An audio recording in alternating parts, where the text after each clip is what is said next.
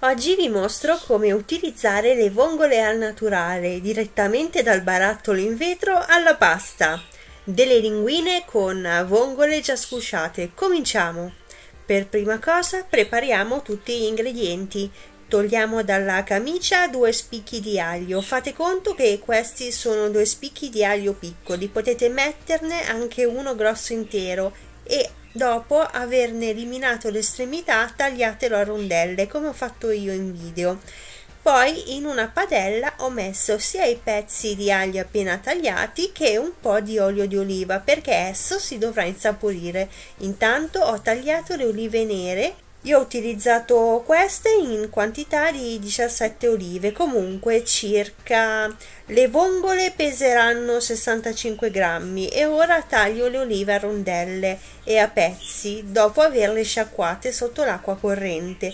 Dopo aver tagliato le olive nere ho rosolato l'aglio con l'olio per alcuni minuti per insaporire l'olio. Poi ho messo le olive e dopo aver insaporito il tutto mescolando velocemente ho preso le vongole che ho precedentemente scolato e sciacquato sotto l'acqua corrente e le ho tuffate nella padella assieme al resto. Non dovranno friggere quindi mettete appena possibile un cucchiaio di doppio concentrato di pomodoro e un bicchierino contenente acqua e un dito di vino bianco. Poi mescolate e lasciate che il sugo si restringa.